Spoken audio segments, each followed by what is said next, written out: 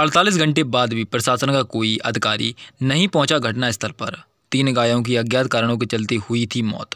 गौरक्षा संगठन ने की जाँच की मांग।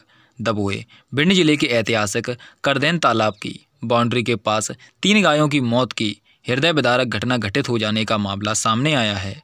मृतक पड़ी गायों की स्थिति देख करंट या विषैले खाद्य सामग्री खाने की वजह से मौत की संभावना व्यक्त की जा रही है। तीन गायों की एक साथ मौत होने की एक बड़ी घटना घटित हुई। लेकिन आमजन की बात सुनी तो घटना स्थल पर खेत के चारों तरफ़ तार फेंसिंग है। तीनों गायों की मृत्यु करंट आने से हुई होगी। लेकिन विद्युत विभाग का घटनास्थल पर किसी भी प्रकार का बिजली का कोई वायर या तार नहीं मिला। लेकिन एक बात है कि नगर में असामाजिक तत्वों के आतंक का परिणाम तो नहीं है।